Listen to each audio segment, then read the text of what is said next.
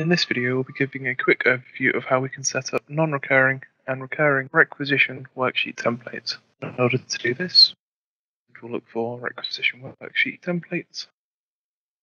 Here we'll be listed all of our existing templates. In order to make our worksheet recurring, we need to select this field. So we'll create a new line.